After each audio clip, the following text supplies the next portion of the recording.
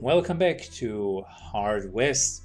We are on our brink to finish scenario number four, and we're at Las Fortunas commercial post. It is time to um, have the final standoff. Cassandra and her crew politely um, move over to the island. And during the sea voyage, Cassandra uh, felt feeble and anxious the feeling she has attributed to the excitement of meeting the Protector. Finally, she could be um, rid of her curse of clairvoyance. Still, she was uneasy. She chased away those thoughts and did her best to enjoy the trip. As soon as uh, they stepped off the boat, Cassandra realized she should have trusted her uneasy feeling. They were immediately uh, apprehended by thugs when the protector arrived. He appraised Cassandra like a caged animal. Uh, then he made a show of presenting a bag full of gold pieces to Hardin. Cassandra never uh, seemed so smug before. He immediately departed uh, for his return voyage. Then the Protector had Cassandra and her companions locked up in the brig, promising to deal with each of them individually. Shit, and he was our best. Um, he was our best uh, man by a long margin.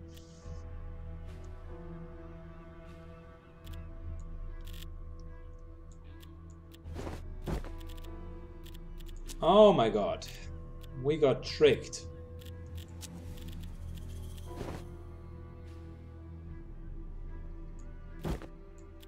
Sandra is taking over the sniper position. Our good friend, um, our good friend Paco here will take over this. Uh, the will take over uh, the normal frontline damage. And yeah, we got Jim. I mean, what's, what's not to love about Jim, right?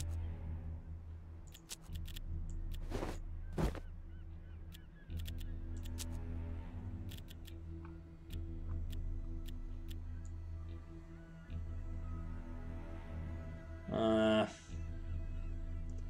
well, let's give him the six six damage rifle, just in case we're running into into a scenario where we need it. Um, take some extra healing, just in case. Everyone has a relic, and now we're opening the cards because we need to reassign them. Gosh, I'm angry about that. So Paco is taking over Cassandra's role now having 12 hit points and being this massive grunt in the front line. Cassandra, on the other hand, is gonna be the sniper here.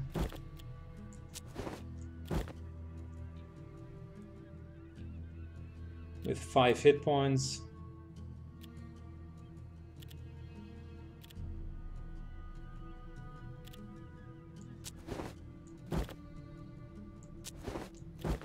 We're going to give her extra hit points, plus the full house. Oh, that's fine.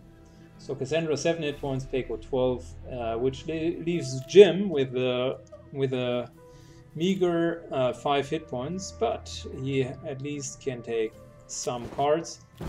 I think the three kings will offer him uh, the option to face off. Barrage is a good skill. Um, and that's also plus 30 maximum luck.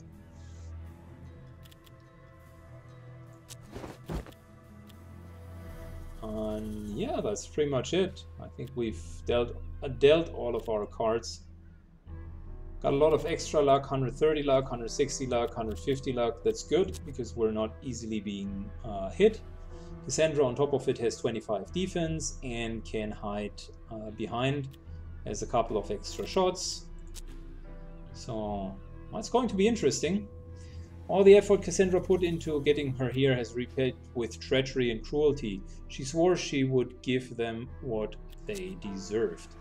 Interestingly enough, Peiko, uh, the fat Mexican, has stayed Hardin with us. and the Protector both proved to be traitors. The latter wanted to experiment on Cassandra to see what made her tick. Wait a second, Peko is a traitor as well?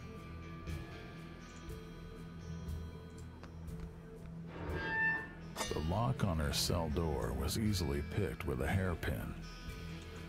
But the guards were on high alert.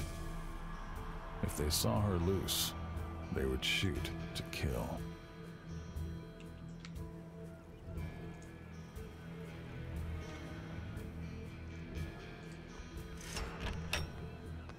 Cassandra's companions were here as well. She could free them. Find the keys to the cells in the guard room. Well, where's that? Oh, in the guard room downstairs. Interesting. Well,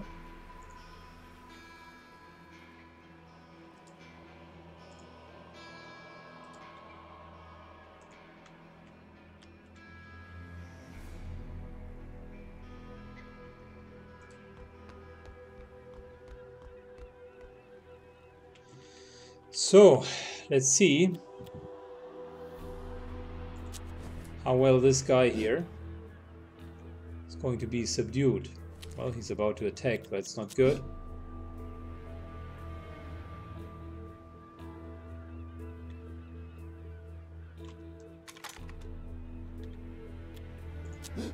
Come on.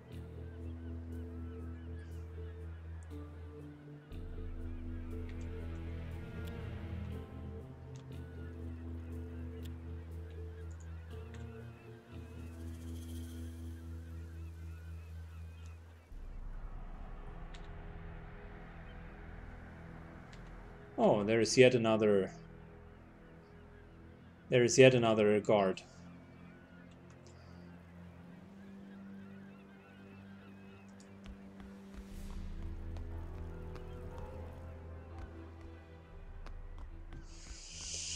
Maybe we should have just taken a shot.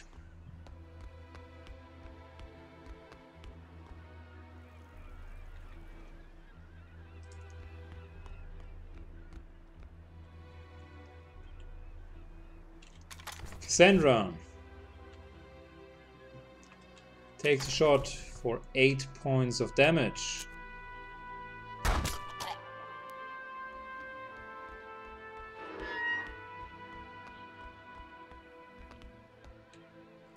Well, now it's the question how fast can Cassandra reload?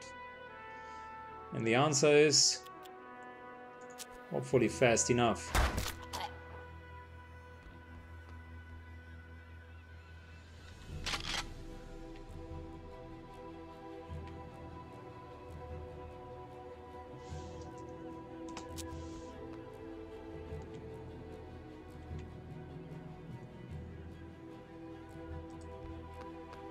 Moving in further.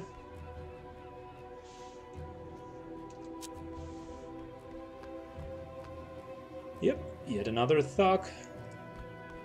Moving in back.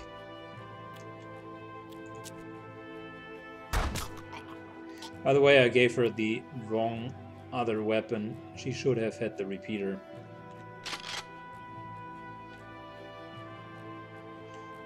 It's fine. Most of the time we're going to use the weapon, uh, this weapon anyways.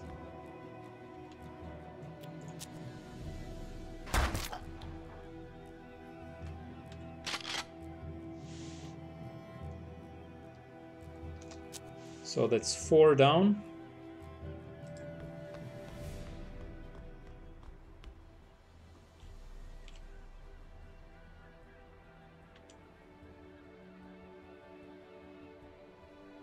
Can't really get inside of this room here, can we?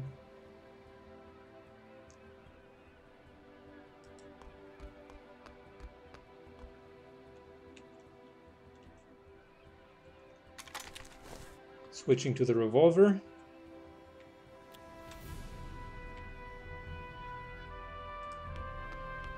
Cassandra couldn't help but notice all the Protector's sophisticated machinery.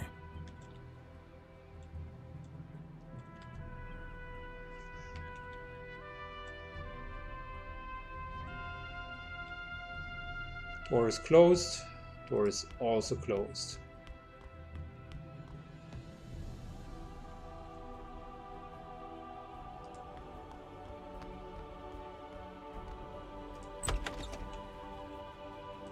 Moving in to get the key. Cassandra could now free her companions.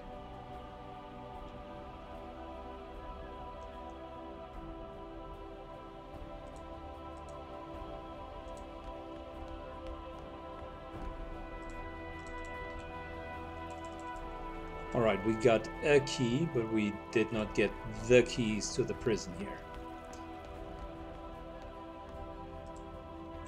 Nope, can't open the doors.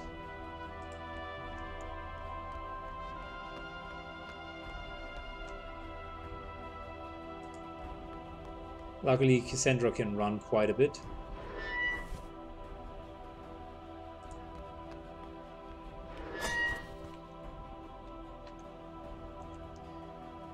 And with our companions together, uh, this here might be an easier endeavor. Cassandra is moving to the windows, has the height advantage, and now it's time to take revenge.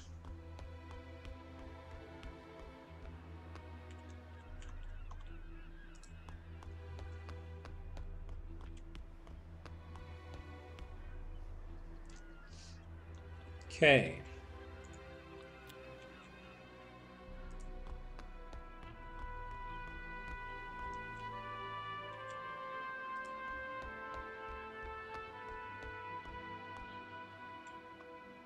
So, I think that the enemy is like inside of the building. That's okay.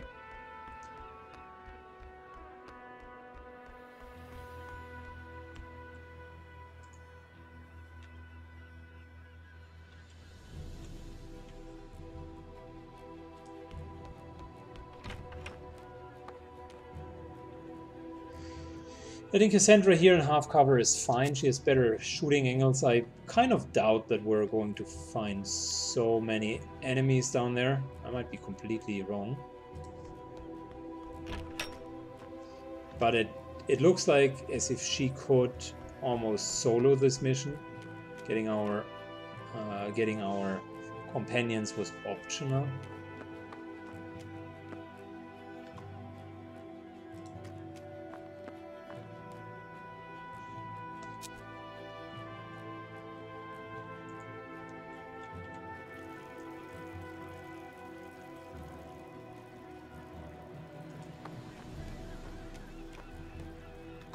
So we're moving in.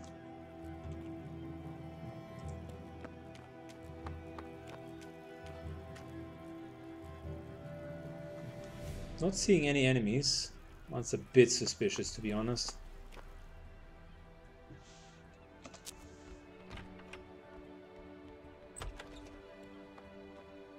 I mean, not a single one, right? Oh, wow. A single one.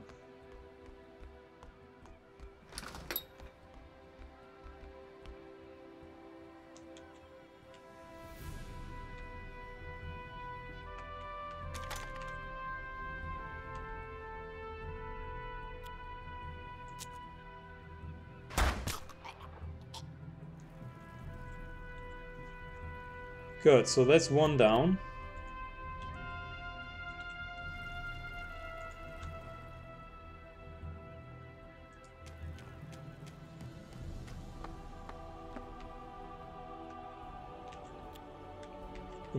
Here. Let's open the door. Oh, the door is uh, is closed. Interesting.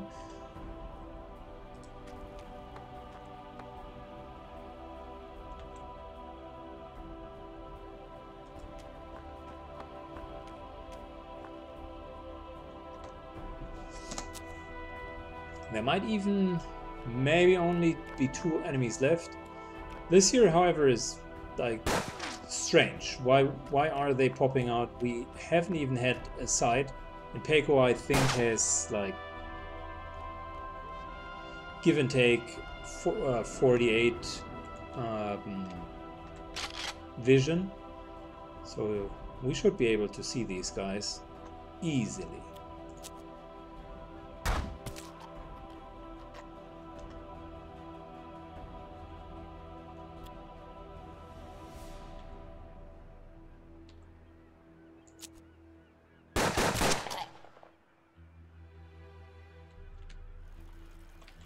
Good, knowing that there seem to be more enemies.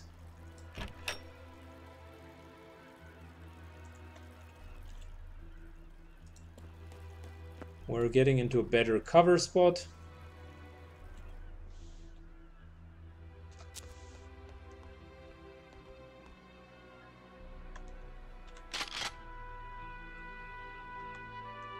Reloading.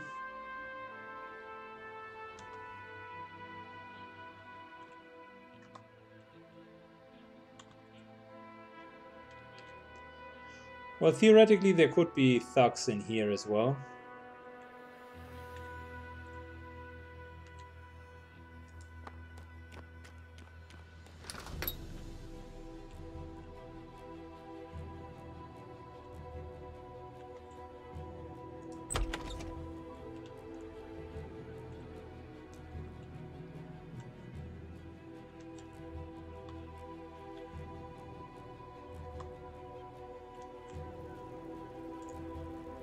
So we're again moving over here. Just making sure at the moment that we that we have a decent sight on everything.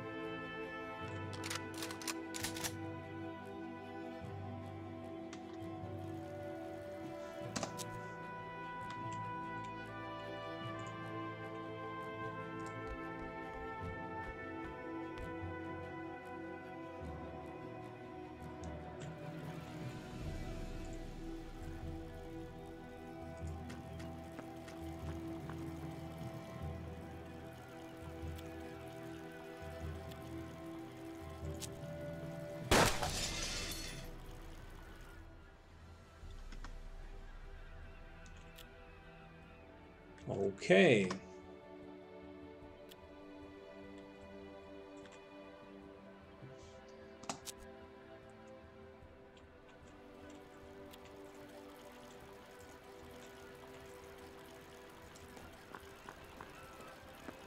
Ah, I forgot that uh, that side was closed.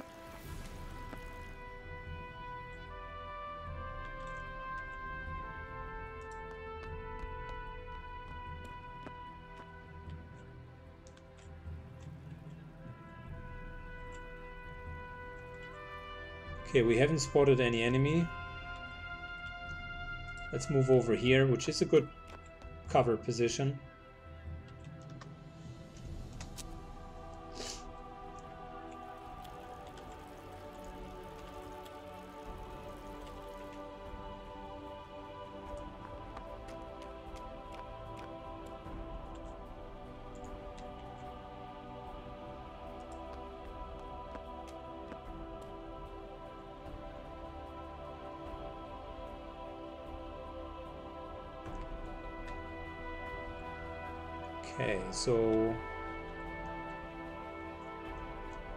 This is the end of the map. We're not going to see any more enemies from here.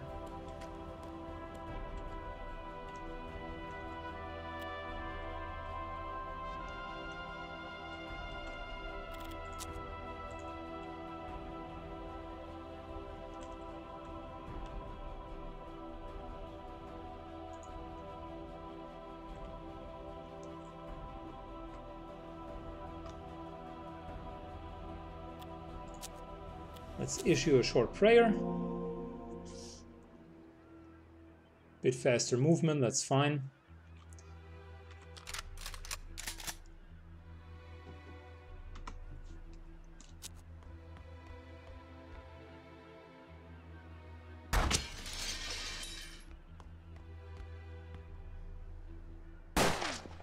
That's supposed to be the protector.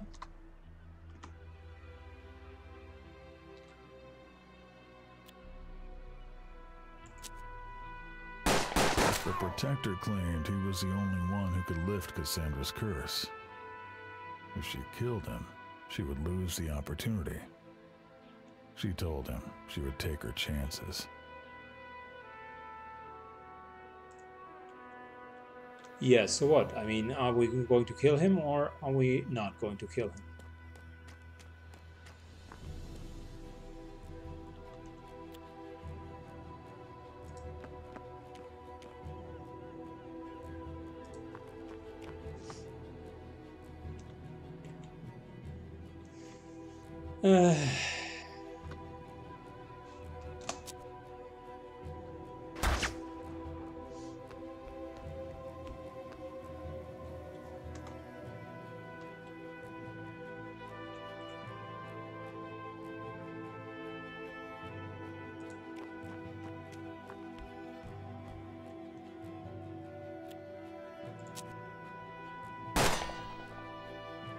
Protector was gone, and so was his knowledge of how to use that machine.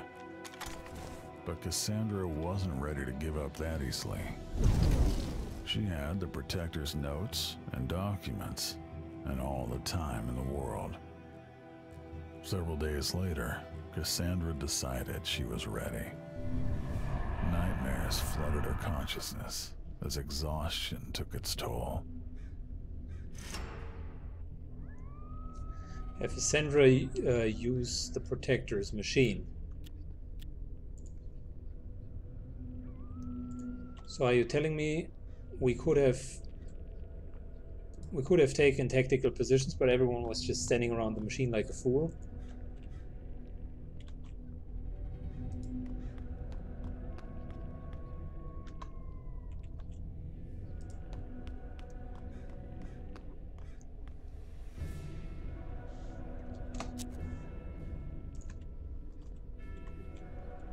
The machine.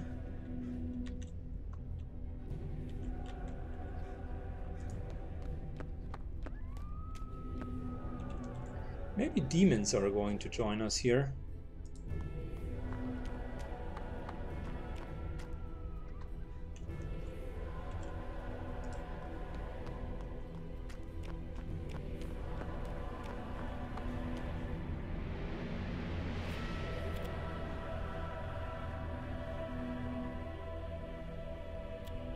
Let's use his Mandrake root because I don't like him having only 11 uh, luck and maybe being in a flanked position. That's never a good starting point.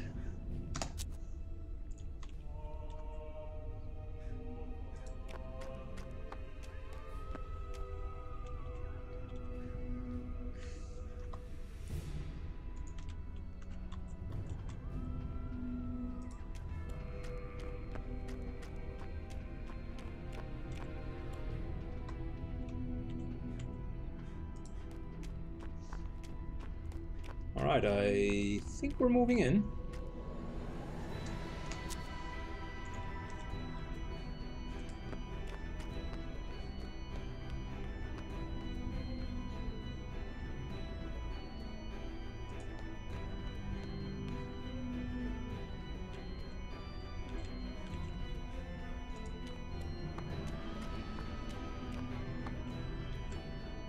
Just in case something happens, I guess Paco needs to stand like here.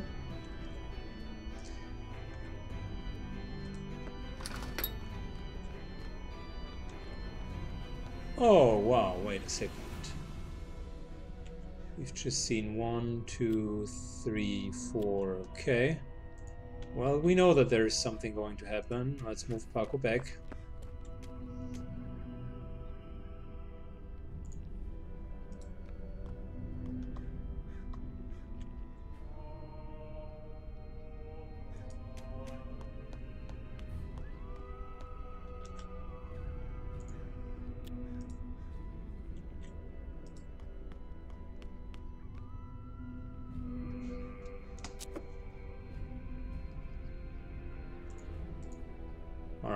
Opening the door.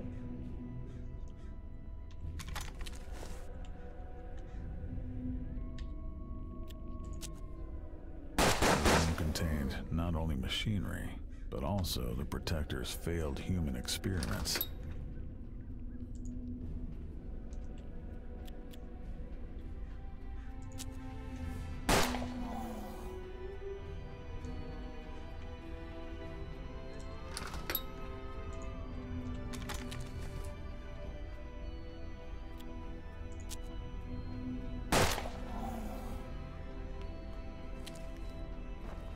There we go. The human experiments do not seem to be super scary.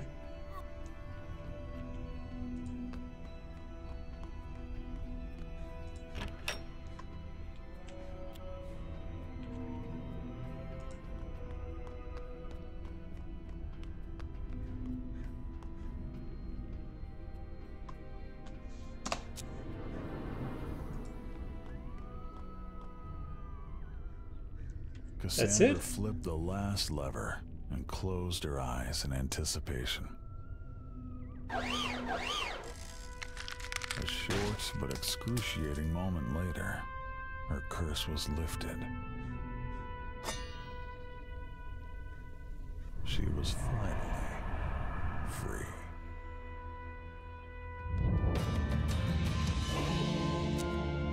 Ooh. Alright, guys. Whew.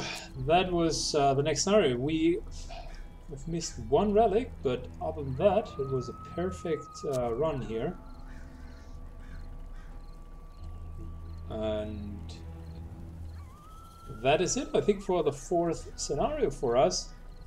We are more than halfway through the game. No, actually halfway through the game. And we're now going to follow the storyline of Warren, our initial protagonist, running another round with the devil. This here seems to be more like a side story. Probably uh, the, the normal way is you should follow Warren and then you can play the side story-ish. I don't know. Um, okay, so that is it. If you liked what you've seen, don't forget to comment down below and give it a thumbs up. Thank you so much and see you in the next run. Bye bye.